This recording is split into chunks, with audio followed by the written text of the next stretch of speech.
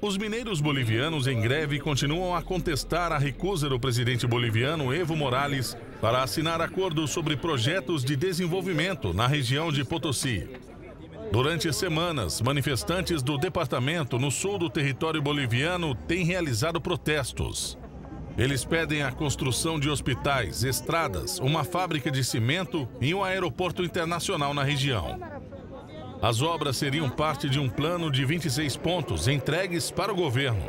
Os mineiros em greve querem negociar os projetos de infraestrutura para resolver um conflito que já dura mais de um mês. O presidente não firma. Ainda assim, o governo indica que não tem a intenção de negociar com os manifestantes, uma posição mantida pelo ministro da Presidência, Juan Ramon Quintana.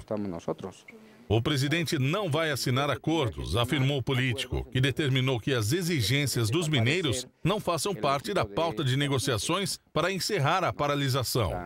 Está absolutamente claro e isso lo hemos repetido várias vezes. Potosí é uma área rural conhecida por seus recursos minerais, mas a falta de desenvolvimento irrita os moradores.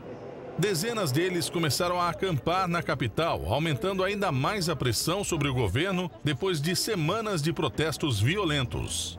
A disputa entre os grevistas e o governo central boliviano ocorre num momento difícil para a atividade mineradora na Bolívia.